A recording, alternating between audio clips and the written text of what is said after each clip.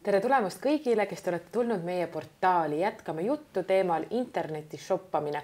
minuga on koos internetispetsialist just shoppamisel Liina Kivastik, kes meelsasti vastab kõikidele teie küsimustele. seega olge hästi aktiivsed, kirjutage meile enda kogemustest või kui te olete näiteks petta saanud või kui teie arust on kõige parem internetipood just miski, miski, tehke seda aadressile stuudio at teineekraan.ee nii et olge aktiivsed ja miks, sellepärast et Luha lihatööstus loosib välja suure-suure hunniku liha just kõige aktiivsemale äh, inimesele, kes kirjutab meile küsimusi ja võib-olla räägibki põnevaid lugusid, aga see pole veel liha poole pealt kõik, siin on veel ütleme neli-viis korda rohkem seda liha, nii et saate lõpus ütlen mina ühe nime, kes siis on võitnud selle hunniku liha aga kui me nüüd räägime interneti shoppamisest, ma olen kuulnud, et kusagil kuuskümmend protsenti odavamalt kui tavapoes võib internetist asju leida, vastab see tõele? no on võimalik küll leida, aga see on niisugune kahe otsaga asi, sellepärast ei ole konkreetset poodi, aga on erinevad saidid, kust just nimelt äh, saab neid allahindlusi aga milline on näiteks sinu tavaline shoppamise, ütleme siis number, mis sul on, kui palju odavamalt sa saad? too no, näiteid. no ehtne näide, need kingad, kui muidu saad äh, Eestist ostes võib-olla seitsmekümne euroga, siis sealt ma sain seitsme euroga, seitse korda odavam ja vahepeal ütlen veel seda ka, et äh, meil on olemas ka teine mäng, see on reisimäng ja täpsem info on meie Facebooki lehel, teise ekraani Facebooki lehel. ja üheksateistkümnendal aprillil loosime välja kaks inimest, kes saavad reisile. Ja iga saate lõpus tulevad ka finalistid, kes siis pääsevad äh, lõpuloosimisse. aga jätkame nüüd teemal internetipoed, nimeta internetipood, millistes äh, sina kõige rohkem käid nii-öelda surfamas ja ostmas asju no ma põhimõtteliselt käingi e-base äh, ja ei ole nagu poodi konkreetselt, vaid on internetisaidid ja nemad müüvad siis erinevaid äh, tooteid, erinevate brändide tooteid ja poodide tooteid. nii, aga meil on juba esimene küsimus kommentaariumist ja Jasper küsib, et kus saab ilusaid maksikleite ja kingi peale Everything Five Pounds ja eBay räägi oma kogemustest uh,. hea küsimus, kuna ma ise ei kanna väga maksikleite, siis ma ei oska ka selle nagu nõu anda, sest ma olen ise pisikene ja maksikleidid ei ole just minu tüüp. aga see kleit näiteks, äh, kus sina selle said? selle sain e-base'ist. ja kus on veel peale e-Bay ja siis selle Five Pound äh, internetipoe kohti? no on ka Eesti poed täiesti olemas. ja Nii. üks nendest, äh, mis on, on see buduaariturg, seda teavad kõik ja sealt tarnitakse samamoodi internetist, et inimesed teevad sealt endale raha vahelt, aga sellegipoolest saab oluliselt odavamalt, kui seda osta nii-öelda poodide lettidest.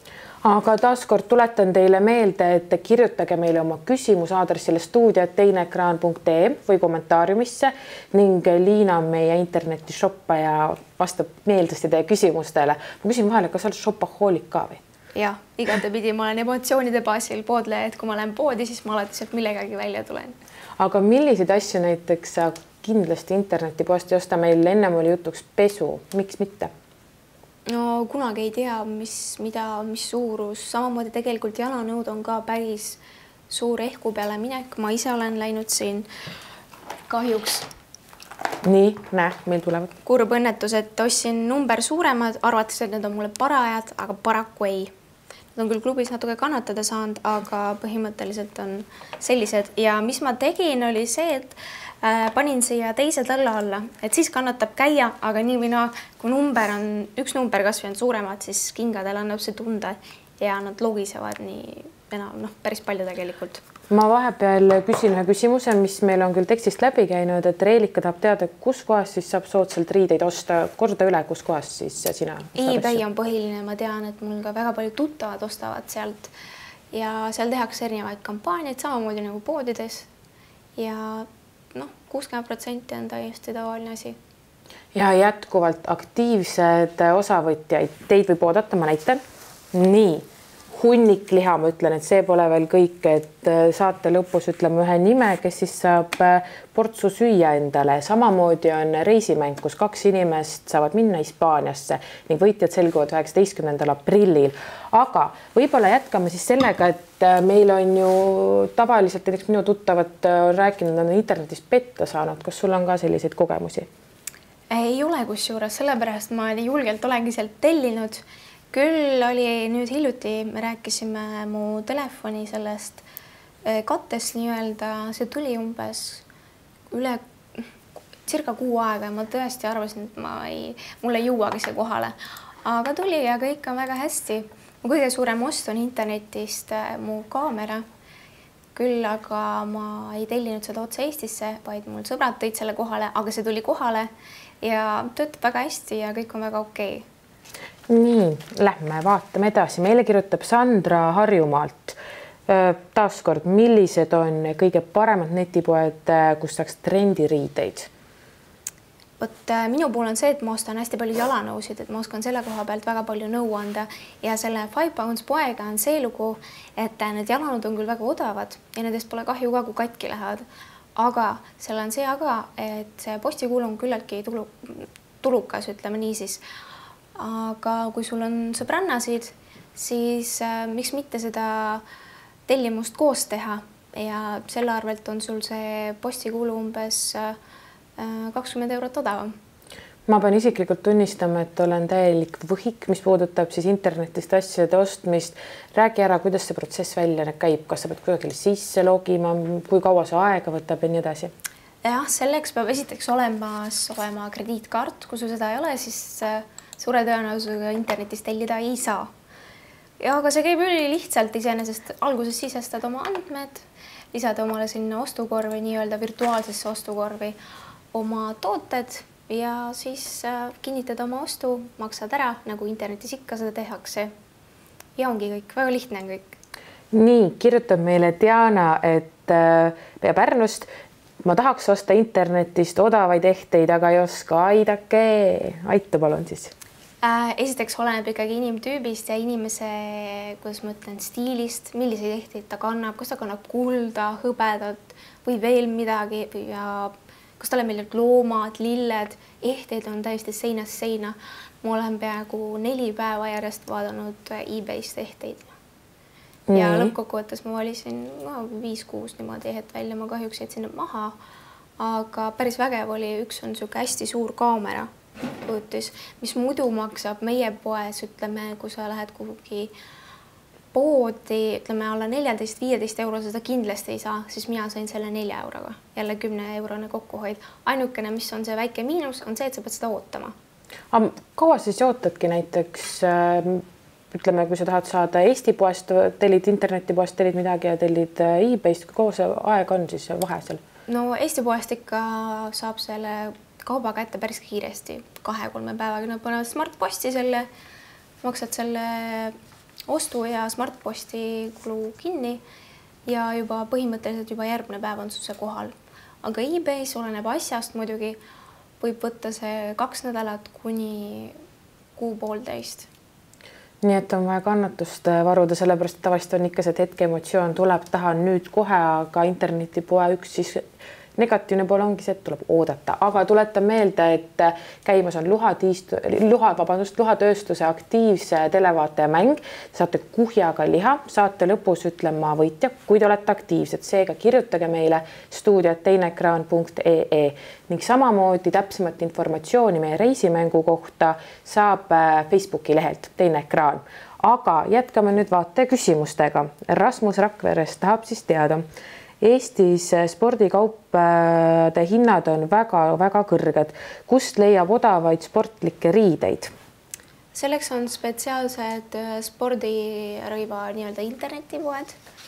just äh, täna sai sellest räägitud äh,. väga lihtne on guugeldada äh,. kui paned, panedki mingisuguse spordirõiva, mingisuguse brändi, näiteks ütleme Nike, paned Google'isse ja näiteks ütled, kirjutad, kuidas odavamalt saada, siis tuleb foorumid lahti ja inimesed arutavad seal, kust on võimalik tellida, internetipoodide erinevad aadressid, kellele mis meeldib, et see on väga mugav ja tõhus on see guugeldamine.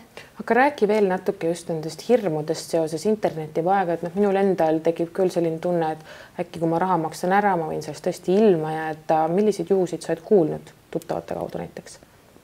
Veel peale näiteks sinu kingaõnnetuse äh,? ja hiljuti oli selline lugu, et äh, telliti üks kallis kell ja see oli praak ja seda ei vahetatud välja põhimõte oli siis selles, et sa oled selle ise katki teinud ja tahad uut, kuna inimesed teevad sellega raha.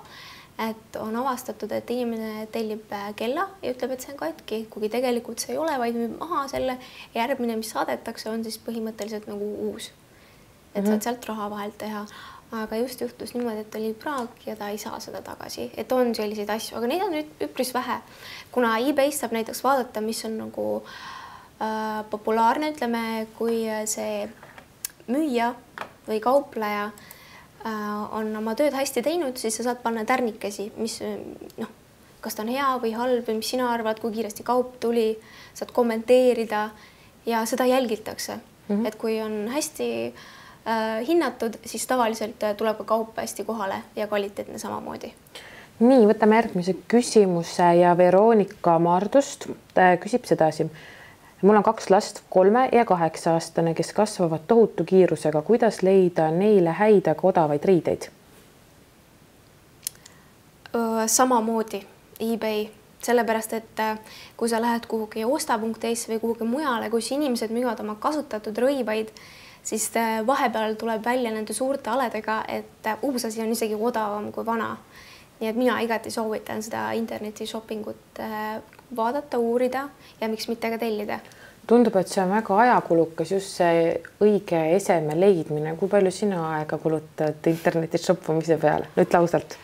oi jumal, ma ei oska seda isegi tundides kirja panna, eriti kui ma lähen, jõuan kuhugi jalanõude leheküljele. See võtab ikka aega, sest et valik on väga suur võrreldes. palju on aega, palju on palju aega? noh, üks õhtu ma lihtsalt rohkem ei jaksa, viis tundi vabalt järgmine päev edasi rõõmsalt sinna, kuhu jäid, paned ilusti selle favorites'i ja vaatad sealt edasi. aga Jüri kommentaariumist kirjutab, kas sa ostad e-base'ist asju äh, panustades ehk siis oksjonitel või koheselt ostes? Ma olen äh, päris kärsitu inimene, et ma pigem ostan kohe ja oksjonitel, ma ei tea, ma unustan ära, et ma olen kuskile oksjonile panustanud ja siis pärast, kui tuleb kohale, siis on ennäe imet, et ma parem ostan kohe nii, vaatame edasi, siis on meil veel küsimus Kallelt, kes on Toilast. millised kohad internetis on parimad meesteriiete ostmiseks? hea küsimus. oleneb, mida sa hindad, kas sa hindad seda, et äh, sul on äh, ese on niisugune mõnus, ütleme trendikas, aga ta ei ole nii kvaliteetne, siis äh, on ühed saidid ja kui sa tahad kvaliteetseid riideid, siis on teised, et see oleneb ka hinnavahemikust, mis hinda on inimene nõus välja käima mingisuguse riideeseme eest. selge, aga meil on tulnud Kadrilt küsimus. tere, küsimus internetis shoppamise kohta. nimelt tunnen huvi sellise lehe kohta nagu aliekspress.com, kas olete sealt ennem tellinud, kui jah, siis kuidas seal süsteem käib ning kuidas olete toodetega rahule jäänud, samuti tarneajaga hetkel vaatan, et enamus internetibutiike elatuvad kas eBay või siis Hiina lehelt. jah, nii ta paraku on, sellepärast et eBay on endale teinud väga head nime just sellega, et äh, need tooted on kohale tulnud, nad on kvaliteetsed ja inimesed on nendega rahul ja sellepärast on teised saidid jäänud tahaplaanile aga kui me räägime see aliekspress.com, ei tea, kui õigesti ma seda hääldasin, loen eesti keeles, kas sa oled kokku puutunud selle ei lehega? kokku puutunud mm. -hmm. on küll niisugune sait Amazonas, sealt saab äh, rohkem tehnikat, et kui tehnikahuvilisi on. Aga veel on, äh, me oleme rääkinud siin riietest, jalanõudest, ehetest, mida veel oled sina isiklikult tellinud äh, internetis, internetist? kohe näitan. nii äh,. tellisin jah, tellisin kunagi omale, see oli vist hobiall äkki või? ma ei mäleta tõesti, aga see on äh, juuksesirgendaja, see on veel niisugune vanakooli juuksesirgendaja ja selle kohta ma võin nii palju ka öelda, et ma rohkem ei telli just selliseid ilutehnikat nii-öelda endale. kuna siin tegelikult käivad veel niisugused, et saad teha tähti ja südameid, aga see kvaliteet on väga halb, et äh, see reklaam oli oluliselt parem, kui see toode ise väärt on. et see põhimõtteliselt vedeleb äh, mul kapi põhjas ja kogub tolmu, et see ei ole nagu eriti vajalik ost. mingi aeg tagasi, kui me omavahel vestlesime, siis sa mainisid, et sa tellisid endale fotoaparaadi või? Ja just. nii, mis see hinnavahe on, kas oli hirme ka? ja sellega oli väga palju hirme ja mingil määral ma isegi veidikene kahetsen, sellepärast et ma ei teadnud, et äh, kui e-base näiteks liiguvad suured summad, siis nad võtavad ka päris suure nii-öelda vahetulu sealt endale. ja ma pidin päris palju juurde maksma selle kaamera eest, enne kui ta nii-öelda tellitud sai. aga meil on tulnud äh, kommentaariumisse kommentaare Ragnarle, Ragnar Jussilt mis lehelt tuleks hea asju tellida, no kordame veel kord üle siis. no meeste puhul äh, peab ka ikkagi selle koha pealt tegema natukene eeltööd ja ei saa öelda inimesele, mida täpselt kellele mis, sest et mõni hindab kvaliteeti, mõni hindab seda, et saaks kiiresti kätte, kannab ühe hooaja ära, viskab minema või annab veel järgmisele. Et äh, selle koha pealt ma ei tea, et just meeste poole, poole pealt, et ma ei ole kahjuks meesterahvas või õnneks tähendab, et äh, neid on parem ikkagi kuttidega arutada ja millegipärast on noormeestega ja üleüldse meessugupoolega nii, et nemad pigem ei telli internetist. miks sa arvad, miks see nii on? Laiskus võib-olla, pigem tehnikat. või nad ei ole sellised šopohoolikud, nagu sina oled? no parem on aga meil on tulnud kiri ka, kirjutab Maksim Tartust tere äh,, ostsin kolm aastat tagasi endale, ei, otsisin kolm aastat tagasi endale suurt telekat. poes maksis Samsung viiekümne viie tolline LED-telekas umbes viiskümmend üheksa tuhat krooni äh,. Dangrop digishopis sain täpselt sama telekat neljakümne ühe tuhande üheksasaja üheksakümne kuue krooniga. Võit seitseteist tuhat krooni. teleka kättesaamine ei kulgenud päris viperusteta. kaup hilines kuskil kolm nädalat, aga lõpuks jõudis siiski kohale rahaline võit oli tohutu ja ma olen väga rahul, et internetist äh, osta otsustasin. internetist ostmise puhul kardetakse petta saada ja minul on selle vastu oma rohi. kui olen otsustanud netist midagi osta, siis võtan kohe tellides teadliku riski ehk olen ette arvestanud sellega, et raha võib ka kaotsi minna. siiani ei ole õnneks nii läinud, naeratab tervitades Maksim väga positiivne ja inspireeriv lugu, et hakata internetist asju ostma. no minu meelest ka, et äh, tegelikult see nii on, ma olen tõesti väga palju asju internetist tellinud, just hiljuti käisin deklareerimas ühte ostu ja see kusjuures tuli veel nädala, nädala ajaga kohale, et see oli väga kiire. Et kahjuks peab sellega arvestama, et võib tulla kuskil tee peal mingisuguseid viperusi või veel midagi muud aga enamjaolt on need ikkagi usaldusväärsed.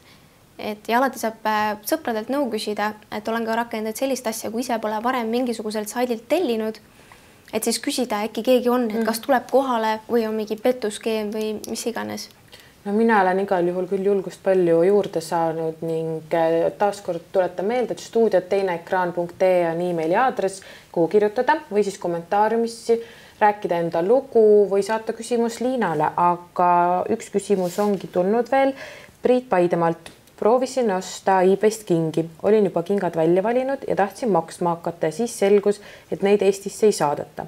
kas on mingeid võimalusi siiski kaupa Eestisse saada?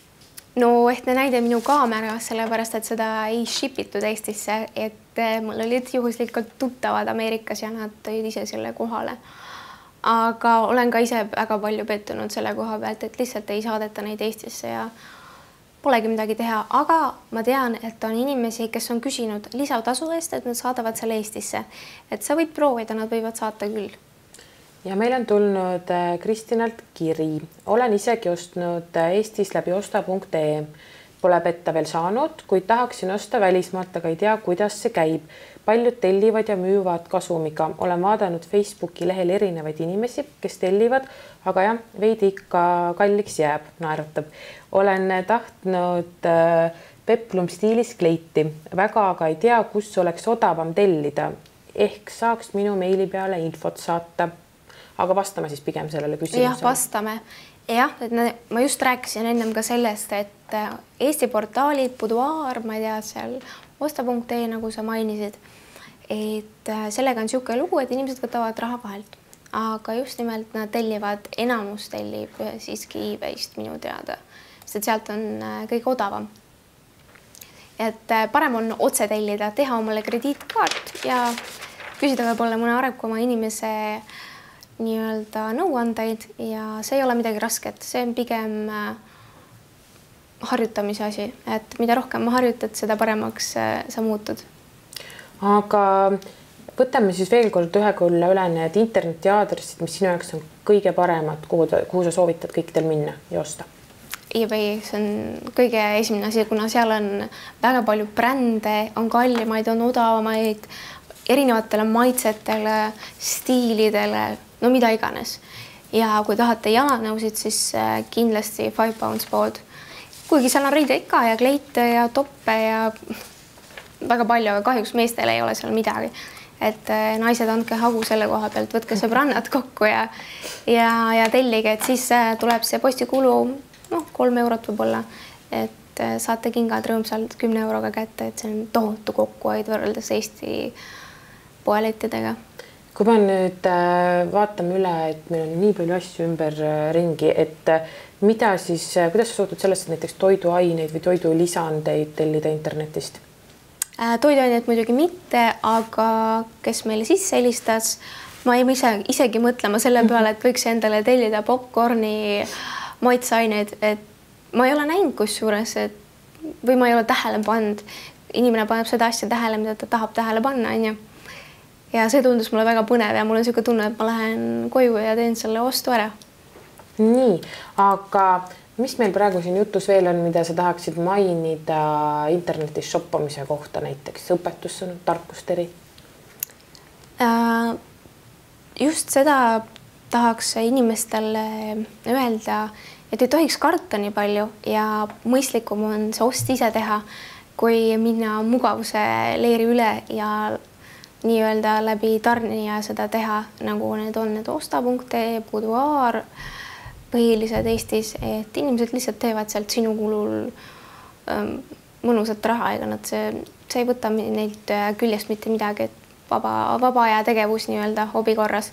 palju lihtsam on ise tellida, see ei ole mitte midagi rasket ennem sa mainisid veel äh, seda ka, et äh, sa oled šopohoolik, õigemini mina mainisin, et kui suur see kapp on ja mis kõikidest nendest asjadest pärast saab, kui sa nii palju ostad ja ostad ja ostad kogu aeg? mis nendest saab? no kapp on väga suur, seinast seina ja seal on täiesti seinast seina asju ka ja mõned on, ripuvad veel siltidega, et ei ole veel selga saanud või sobitanud millegagi.